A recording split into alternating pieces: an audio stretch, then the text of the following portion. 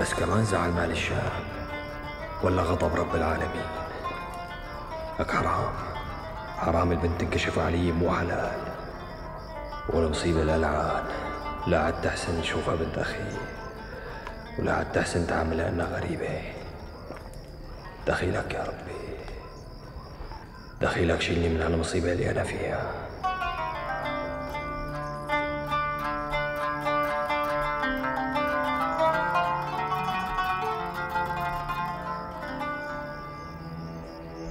يا أم جابر أنا ما قلت لك إنه عمها مو رضيان يجوزها للبنت. لك ليش انت بتحبي تعيدي وتفتقي بالسيرة؟ طيب انت خليني أقابل عمها وأحكي معه من راسي لراسه. مو بس ليرجع من حلب يا بنت الناس. ليش هو بحلب؟ إيه نعم بحلب. يو وشو عم يساوي بحلب الثاني؟ اخذ تجاره هنيك. معناتها بعتوا له مرسال لحلب. حاكم يا أختي. ما بيجوز من الله تخلوا البنت بدون جواز. ما بيجوز. بعدين أهل المعرفة والعلم بيقولوا إنه اللي عنده صبية وخرج جواز وما بيقبل يجوزها. كل يوم بيندبح على باب بيته خنزير والعياذ بالله. يو فضايل الله والرسول على الكلام اللي عم تقوليه يا أم جابر. شو هالحكي؟ لكان لكان يا أم حسان مثل ما عم قلك. لك ما بيجوز بنت مثل فلقة القمر تضل بدون جواز. والله أنا معك يا عم جابر. ومتمنية إنه نجوزها. هيك بتريح راسها وراسنا من هالسيرة بس كمان يعني أنا أنا مو بإيدي الموضوع من راسه لأساسه بإيد عمها. وعمها مو رضيان يجوزها. ليش؟ ما بعرف. طيب خليني أجتمع معه. حتى لو اجتمعتي معه ما رح يقبل. طيب انت شو خسرانة؟ خليني أقابله وأحكي معه. واتركي الباقي على الله وعلي. لا إله إلا الله محمد رسول الله. بس عمها بحلب يا أم جابر. يوم. ابعتوا له خبر. بعد إذنك خالتي. بدي أحكي كلمتين مع خالتي أم جابر. ما شاء الله على هالقامة اللهم صلي على النبي. إيه خالتي؟ شو بدك تقولي لها؟ أنا موافقة أتجوز جابر. يو شو الحكي اللي عم تقوليه؟ شو جنيتي انت لك بنتي جنيتي؟ مثل ما سمعتي خالتي أنا موافقة أتجوز جابر من بعد اذني بس يا مالي الشام مو هيك القصة؟ يعني أنا شبكي محسان شبكي هاي البنت موافقة ومتمنية. ليش عم تقطعوا بنصيبها؟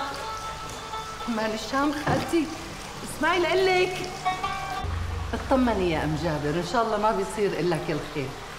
بس يعني من بعد إذنك أنا ما بدي إياكي تفتحي هالسيرة مرة تانية قدام البنت. وأنا براسي بيجي لعندك بس يصير معي خبر.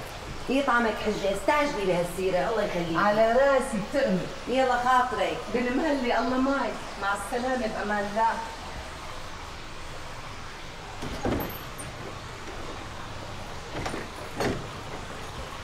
مال الشام؟ يا مال الشام؟ نعم خالتي. شو نعم خالتي؟ انت كيف بتقولي للمخلوقة إنه انت رضيانة تتجوزي ابنها آه؟ ما بتعرفي عمك مو موافق على هالشيء، شلون بتقولي لها الحكي آه؟ شلون؟ بس أنا موافقة إذا وافق عمي أو ما وافق. بس ما بيصير هالشيء قبل موافقة عمك، ما بيصير يا مال الشام، ما بيصير. لكن اللي سوى عمي حمزة فيني بيصير؟ معلش كل شيء له شيء. بعدين انت مو قلتي لي بعضمه لسانك. ما بتتجوزي إلا برضاة عمك. لما كان عمي يسأل عني لما كان عمي يحبني ويدير باله علي مو هلا. ومين اللي قال لك غير هذا الكلام؟ والله هو بحبك وبيريدك وعنده إياكي بالدنيا. يا ريت يا خالتي. عمي حمزة كثير تغير صار واحد تاني. وأنا بصراحة ما عاد فيني ضلني هيك. ما عاد بدي ضلني عالي على قلبك وقلب عمو أبو حسان. شو هالحكي اللي عم تقولي يا مان الشام؟ شو هالحكي اللي عم بتقولي روح روح الله يسامحك. الله يسامحك. إي والله والله. أنا وعمك أبو حسان عنا اياكي بالدنيا كلياتها متعلقين فيكي ومتمسكين فيكي مليتي علينا الدنيا كلها. وما ممكن نتضايق منك يا بنتي والله ما ممكن. كتر خيركم. أنتوا والله ما قصرتوا. بس بالنهاية البنت يلي ما لها حدا أحسن شي تنسى تربيت زوجها خالتي مو؟ برضاي عليكي يا أمال الشام لا تكبري السيرة أكثر من اللازم لك بنتي.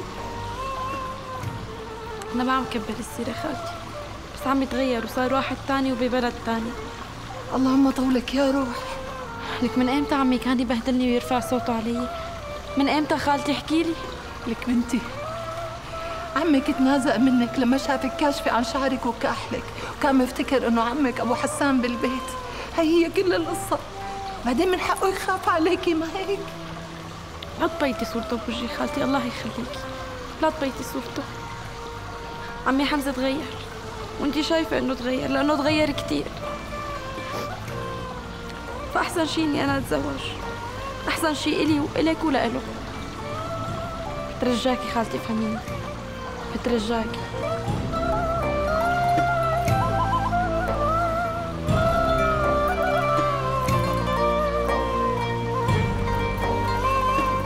عن جد عم تحكي يا عمو مريم؟ امي والله هذا اللي صار. ما بعرف أنا بس حسيته كثير متغير. بعدين هو وعدني بعظمة لسانه إنه بده يساعدنا لنطلع ابن من السجن الحمد لله الحمد لله والشكر لك يا ربي الحمد لله.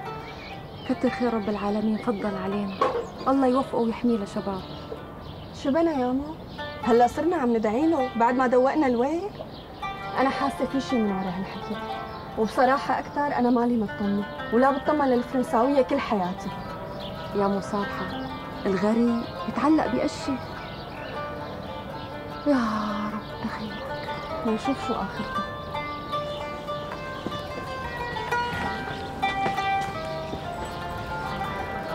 لخالتي ليش تأخرت علي؟ صرت بعثت لك أخبار ثلاث أربع مرات وإنه أنا بدي إياك لأمر ضروري وأنت خاطر خير شو في خالتي؟ مال الشام يا خالتي مال الشام. فهميني شبه مال الشام خالتي؟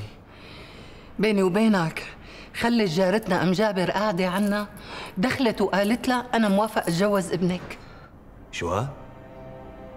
مال الشام تعمل هيك عملة؟ لك شو هالحكي هاد؟ إي نعم وأم جابر هي سمعت هذا الكلام من تمها قام طار أعلى وصار بدها تشوفك وتحكي معك ولك شلون مال الشام بتعمل هيك عملة من شورى؟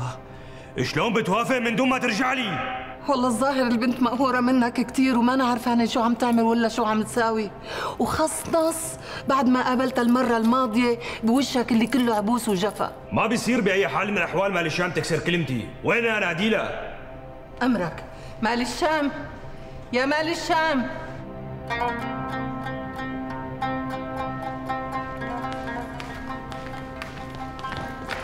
تعال هون أشوف أربي! انت شلون بتقولي لخالتك مشابه انك موافقة تتجوزي ابنها من دون ما ترجعي لي؟ ليش مين جنابك؟ بجنابي؟ ولك أنا عمك اللي كبرك ورباكي يا بنت كنت عمي. هلا انت حدا غريب. أنا ما بعرف إيه بلا الحكي الفاضي بلاه وسيرة جواز بتشيليها من بالك نهائيا. جنابك جاية تأمرني وانت صار لك تاركني شهور وأسابيع لحالي مكسورة؟ شو ما كان يكون. ما بصير تبتي بأمر جوازك هيك لحالك ومن شهورك ومن راسك. لا بيصير. وأنا قررت أتجوز. وانستر لأنه حضرتك مو سائل عني. عم تعانديني يا بنت؟ هذا القرار قراري وأنا ما رح أتراجع عنه تحت أي ظرف من الظروف. ولك أنا ما حدا بيكسر لي كلمة وليه؟ ما حدا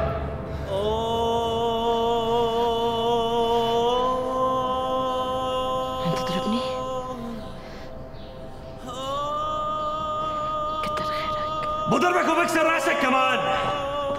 أنا ما حدا بيكسر لي كلمة. ما حدا بيكسر لي كلمة. طول بالك مشان الله طول بالك. ورحمة الغوالي تحت تراب. إذا سيرة جواز بتيجي على لسانك مرة ثانية لا مشابه أو لغير مشابه بامرك وبحسب الله ما ولا طيب. اللي بده يكسر لي كلمة لسه عمه ما خلقته. عم تفهمين؟ بتبقي ببيت خالتك أم حسان لحتى أنا أقرر جوازتك. يا خالتي ما بصير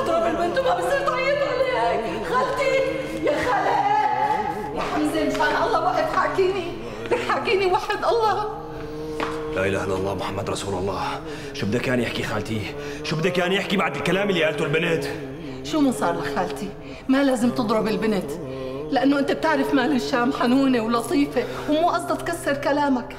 بس يعني هي صار هذا الكلام لحتى تخلص من الدواخه اللي هي فيها. خالتي غبت ولا حضرت؟ ما بصير البنت تعمل هيك عملة من راسها ما بصير لك يا خالتي كلياتنا بنعرف وانت بتعرف انه البنت قديش بتعزك وبتريدك. بس يعني عملت هالشي كلياته كله من ورا فراقك عنا. وطلعت بهالطرنة بس لأنها زعلانة لأنك بعدت عنا ليش شايفتيني كثير مبسوط إني مديت إيدي عليها خالتي؟ يا علي الحلال أنا بخاف على مال الشام من نسمة الهوى. بعمري بحياتي ما حكيتها كلمة زايحة. بس هي اللي جبرتني. هي اللي جبرتني. شو ساوي؟ غصب عني خالتي غصب عني. الله يرضى عليك. تفوت لعندها هيك وتسايرها وتلاطفها وتقول لها كلمتين حلوين قبل ما تروح. حسبي الله ونعم الوكيل. حسبي الله ونعم الوكيل. برحمة عباس وأم عباس الطاوعني وتفوت تقول لها كلمتين حلوين. أنت بتعرف مال الشام قديش لطيفة وظريفة وحبابة. بعدين مكسورة الجناح لك ابني. الله يرضى عليك. ما لا غيرك وما لنا غيرك.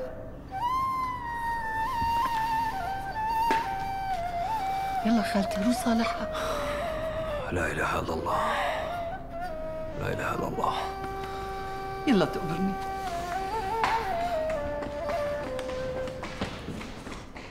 طمنينا عنك خالتي بزمتي وديني ضل بالنا عندي. أمي وصتنا نجي ونطمن عليكي ونشوف إذا عاوزه شيء كلكم ذوق الله يخلي لي إياكم. بصراحة أكتر بعد ما زرناكي المرة الماضية قلنا لحالنا بنيجي اليوم وبناخدك معنا على جوبر تعدي لك كم يوم بتغيري جو. وأمي وخالتي أم مرعي رح ينبسطوا كثير كثير خالتي أم صابر ما بتقصروا تقبروني. بس مثل ما بتعرفوا ما بقدر أترك محمد لحاله. لي على طولي من غير شي الدنيا ضيقانة عليه. وخايفة يصير له شي لا سمح الله. ومين قال محمد رح يضل لحاله؟ يو محمد أخونا بيجي معك هو كمان. ما بحسن فارق البيت بهالفترة. لأنه لسه عم يجيني معزين ومو حلوة يجوني وما يلاقوني. وحياة عيونكم هالحلوين مجرد ما خفت جيت الناس لعندي لأجي وزور عنكم كم يوم. ها؟ إجا محمد. أهلين تقبرني شوف مين في عنا. السلام عليكم. وعليكم السلام. أهلين أخي محمد. العمر إلك أخي محمد والبركة فيك وبخالتي أم صابر. سلم عمرك أختي. الله يعوض روح الجنة. تسلمي أختي صح نعرف إنه مصابك كبير بس هذا اللي كاتبه رب العالمين ولا اعتراض على حكمه. لا إله إلا الله. محمد رسول الله.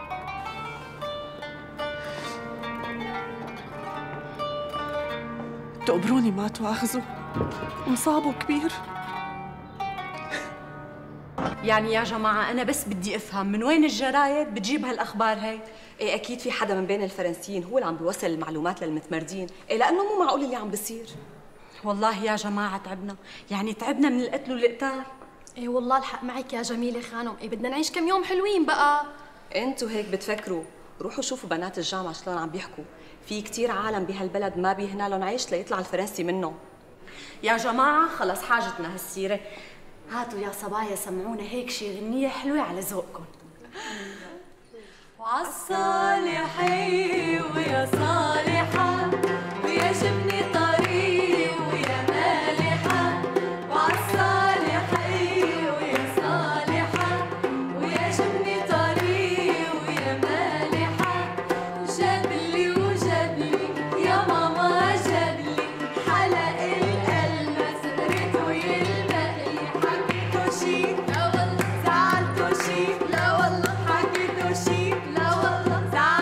زعلته شي